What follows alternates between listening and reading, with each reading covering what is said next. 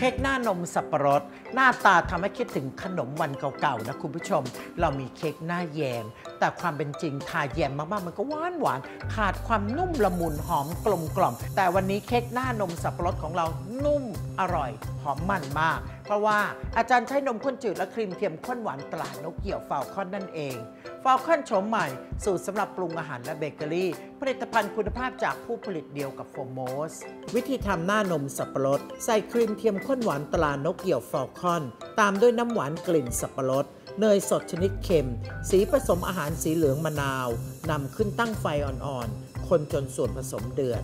เติมแป้งข้าวโพดละลายน้ำ คนจนส่วนผสมเดือดอีกครั้ง ปิดไฟ วิธีทำเค้ก ใส่แป้งสาลีทำเค้กลงในภาชนะ แป้งข้าวโพด ผงฟู เกลือป่นเสริมไอโอดีน น้ำตาลทราย เคล้าให้เข้ากัน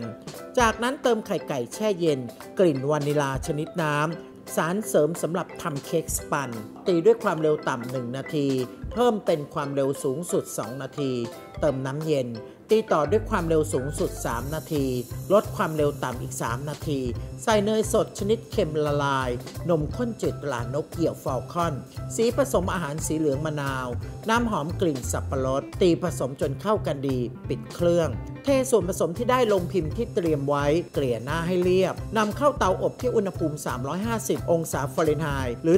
175 องศาเซลเซียส นานประมาณ2 25-30 นาที หรือจนกระทั่งสุก ตัดเค้กเป็นชิ้น เคลือบด้านหน้าด้วยส่วนผสมหน้านมสับปะรดนำเข้าแช่เย็นจนส่วนผสมทรงตัว แต่งหน้าด้วยคุกกี้หรือบิสกิตให้สวยงาม พร้อมเสิร์ฟแล้วล่ะครับคุณผู้ชมสามารถติดตามสูตรความอร่อยและความรู้มากมายได้ที่ w w w f a l c o n f r o m p r o f e s s i o n a l c o m นะครับ